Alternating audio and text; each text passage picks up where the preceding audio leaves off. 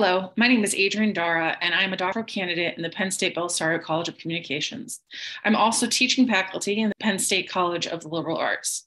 As an older doctoral student, I want to share some advice with those of you who might be questioning whether or not to pursue a doctorate, or for those of you who are questioning whether or not to stay in doctoral programs. First, it is never too late to begin. We all have our own paths, and while your path may not be reflective of your classmates, you still belong in the room. You should own that. Your age does not bring with it any deficiencies. In fact, you'll find your life experiences will help you immensely through your doctoral program. Second, understand that your experiences are going to be different from your classmates. And this goes for everyone, not just older students. There's this tendency to compare ourselves with our classmates, which is a very slippery and also depressing and downright unhealthy slope. Your benchmarks are your own. You come into the program with your own experiences, with, which automatically set you apart from your classmates. So if you didn't come into the program with a strong research background, don't begin to hyperventilate when your classmates who are in their first months of their doctoral program are being published. I have two professional masters, and while I did not focus on research when I was in my master's programs, unlike my classmates who did, it was a learning experience for me not to have those moments of self defeat because I wasn't capable of publishing six months into my program. Keep in mind that at every turn, someone will want to give you advice. Take this video, for example. If you haven't already done so, take a look at academic Twitter. At the end of the day, remember no matter who you are or what your goals are, you must do what's right for you. If you're pushed into doing something you find you have no interest in, it will make an already difficult experience that much more miserable and horrid. Along the same vein, if you have a plan or a goal going into your doctoral program, don't let anybody veer you from that goal, no matter how well intentioned they may be, may be. It's great to hear from people who have been in this role before and to hear their experiences and to weigh their opinions. But at the end of the day, the experience is yours and you came into it with a plan. When I started my PhD program, I knew that I did not want to pursue a tenure track position. I wanted to teach. I didn't want to do research. I had no interest in research, but I knew that research was part of the process. And along the way, I've had a few professors and a few peers try to change my mind on pursuing a tenure position once I graduated. But I knew what I wanted.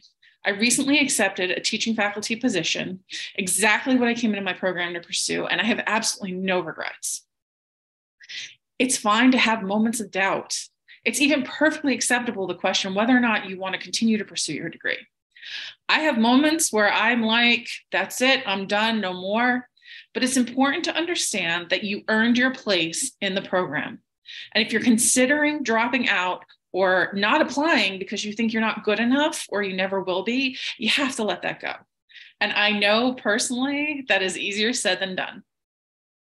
For those of you with families, and this is going to be really hard to hear, you need to understand that there will be give and take between your program and your family. You simply do not have the time to do it all. It's just not humanly possible. So, if that means you miss your child's soccer game or you do not put as much effort into an assignment that you normally would, that's a choice you're going to have to make. And you're going to have to make it regularly. And you're not you're going to have to not feel guilty about it.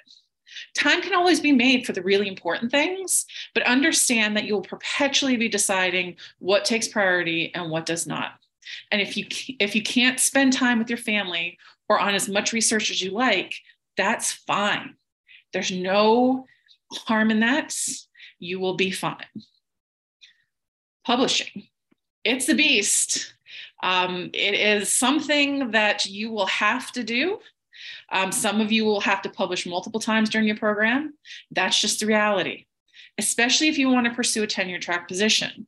In these instances, it helps to find classmates, peers, and professors to work with, as this will help cut down the amount of work that you are directly responsible for and increase your number of pub- publications.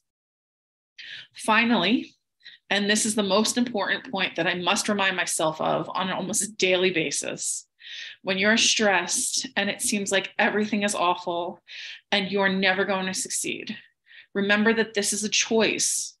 You made this choice and nobody's forcing you to pursue this doctorate. This is not intended to make you feel bad or guilty, but a reminder to regularly recall all the optimism and hope that you had going into your doctoral program. As a PS, for your own sanity, ignore the negativity on social media. Every field and every sector has its pros and cons, but it seems as if academia gets unfairly skewered online. You will eventually figure out if you've made the right choice and if academia is the place for you. If it's not, that's fine. You'll find your place. Good luck. If you enjoyed this video and would like to see more academia related content, then please subscribe to the PhD Place YouTube channel.